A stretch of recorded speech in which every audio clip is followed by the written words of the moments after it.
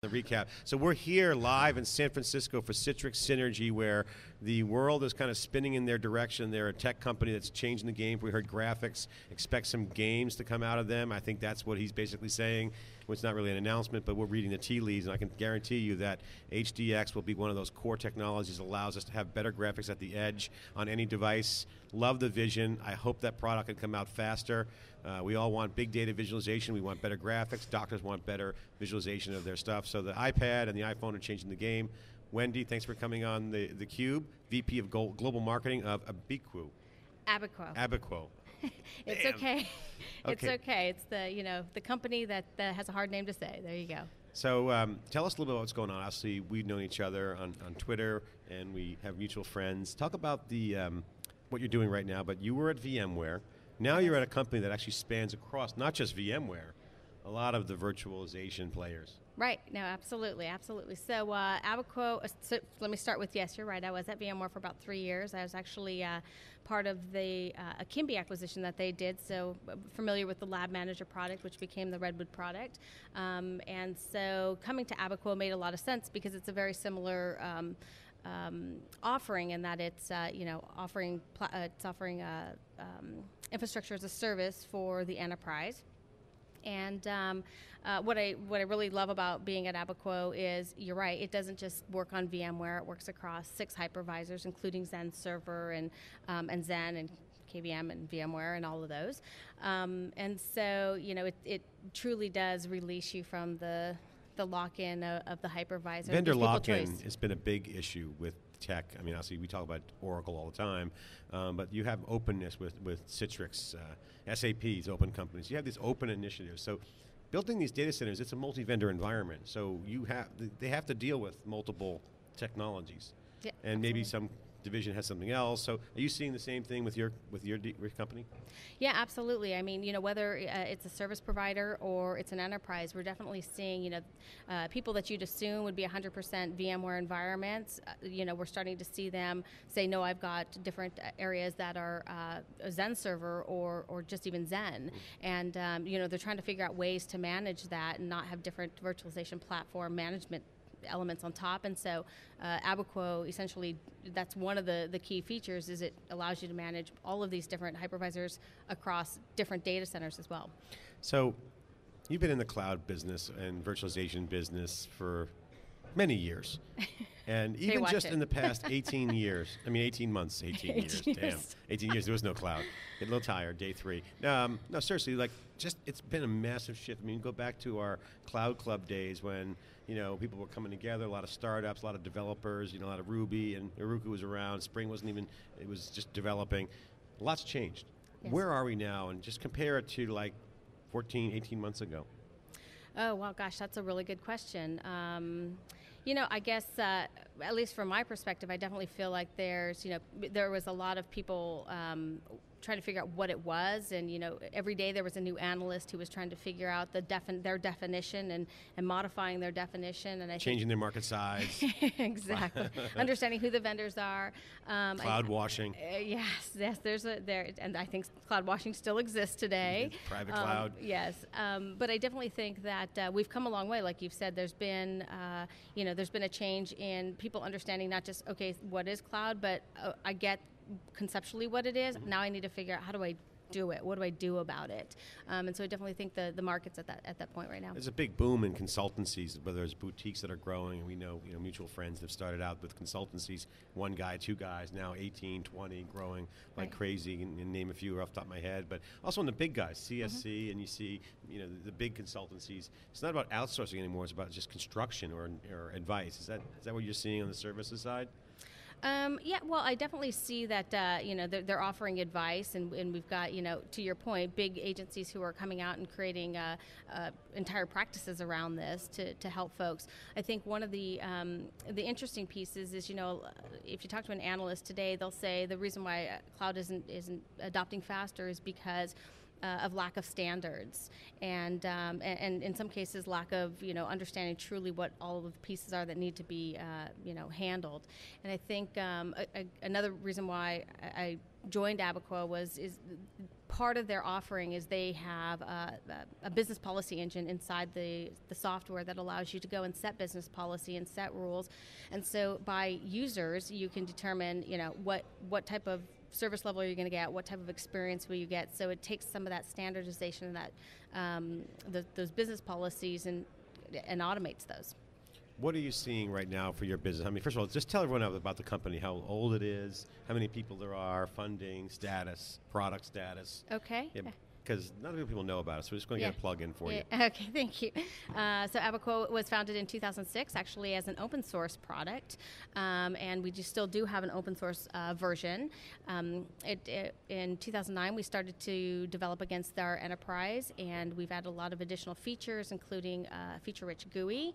Um, and so uh, uh, the the company is roughly about uh, 50 people. We were founded in Barcelona, Spain. Um, we do have headquarters right down the street at Redwood Shores. We share a campus with Oracle, and um, and the product is is currently shipping. I mean, we have uh, you know customers that are both service providers and enterprises using the offering. Um, so it's a it's a how many place. employees? Um, there's roughly about 50 employees. So it's a small company. You guys are growing. Mm-hmm. What are the biggest things driving your uh, growth? Um, Hmm. So, uh, you know, that's a good question. I think some of the, the things that are driving our growth are obviously, as I mentioned before, the the market momentum has moved from what is a cloud to, um, okay, what am I supposed to do about this? Like, how do I start to implement this? I've got the challenge of, you know, virtual sprawl on one hand and managing my day to day operations, and on the other hand, I've got my CIO telling me, go do something cloud like. The business units are complaining, we need services right now. Um, and and so you know having that platform in between that allows you to manage it but also deliver self-service provisioning um, I, I, think is is what's fueling our interest in and um, and the market so Citrix big competitor is VMware and um, Citrix is trying to water that down a little bit by saying, no, we're not so much competitors anymore. We got this whole surging iPad business end user collaboration thing going on. They're trying to kind of distance the conversation, or at least if they do comes up, they say choice. You've been at VMware uh, in the past. Uh, how much has VMware changed in the past four years? I mean, go back four years, VMware was a completely different company. Yeah, no, absolutely. What's your perspective on that? Feel free to share. Open maybe the kimono. maybe I should have you share, uh, John. We've been around uh, around the virtualization slash cloud space for some time. Yeah. Um, I feel like an analyst. yeah, absolutely. Blogger, but I'm also a blogger. So no, but virtualization I mean VMware locked in on the enterprise. Right. And the cloud kind of took them by by storm. And mm-hmm. I mean, I was on record. I forget what event I said it, but basically, you know, EMC World, VMware missed the cloud. I mean, they missed the public cloud because mm-hmm, mm-hmm. they were so locked into their enterprise licensing stuff. Right. I mean, that's a true statement, right? Well, you know, I have to say, I don't know if they you know, I don't know if they miss the cloud, and I don't know if the public cloud is truly the the place where they're gonna they're gonna grow. I mean, obviously, you know, the the relationship that um, Citrix has with Amazon having the Xen platform in it, as well as now Rackspace. Um, you know, the the public cloud may be the battle where you know Citrix gets the upper hand, and, and VMware longs for it. Um, on the flip side, though, it really comes back down to w- what will the cloud look like five to seven years from now? Will it be a private cloud? Will it be a hybrid cloud? Will it be a public Certainly cloud? VMware moved mountains in their strategy change with Maritz. Yeah, I mean, absolutely. you see that at last year's VMworld. Yeah. It was just a massive, okay, this is a platform. They're going after the operating system of the cloud. Right. They own by EMC. They got the disk. So you got, you know, them marching, Citrix over here laying out, in essence, a cloud operating system. Right. So, I mean, you're in a good spot. Your company's in a good spot because there's also other versions of stuff. Yeah, no, absolutely. And I think what we see is, you know, again, going back to the, the comment I made before, you know, we used to think that, uh, especially from, from VMware, we used to think that all enterprises were 100% virtualized on VMware. And, um, you know, whether or not it's, it's the shift in strategy of VMware moving to offering platform as a service, storage as a service, getting into the as a service market, or diversifying their overall portfolio, um, we're starting to see enterprises say, okay, do I truly need to be 100% VMware virtualized, or can I have diversification of different platforms and then manage them holistically using something like Abiquo? Um, you know, it gives them the option to, to go in and say maybe a, a high performing group like uh, finance or whatever needs to be on a, a, VMware environment, but I can take my uh, marketing group and put them on a Xen environment, and the, the cost structure is different. What are the biggest challenges you're seeing for the customers you talk to that, that call you in? And, and describe the environments that you go into. Um, I'm sorry, can you? Re- What's the top challenges that, Oh, of, your, top of your customers, and then and describe the environment that they're, that they're in.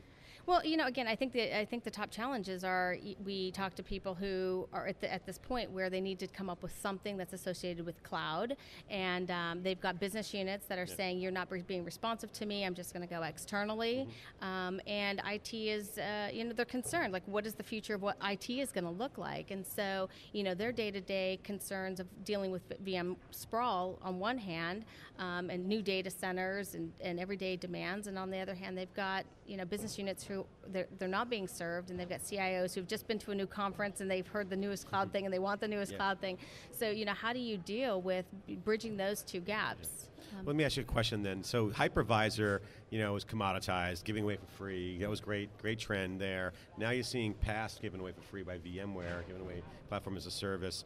Um, what's the direction of the management of the hypervisor?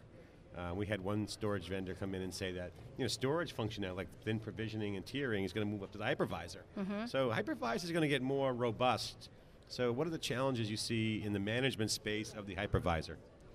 Um, so that's a that's a great question, and I think um, you know the the what's interesting is the the management I think is going to get richer and smarter in general, right? And it, it's not going to be just tied to the hypervisor; it's going to start to span across the entire data center.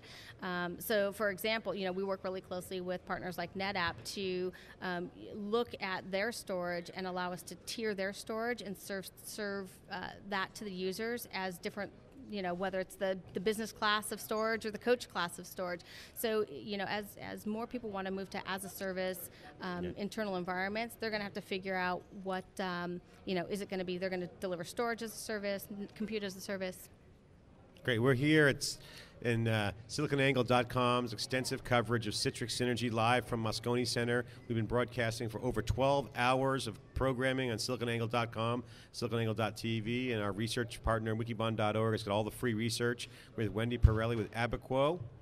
Thank you for coming on Side the Cube. We really appreciate it. Thank you. Thanks for sharing. Uh, management of the hypervisor is going to be big. Thank you very much. thank you very much Okay.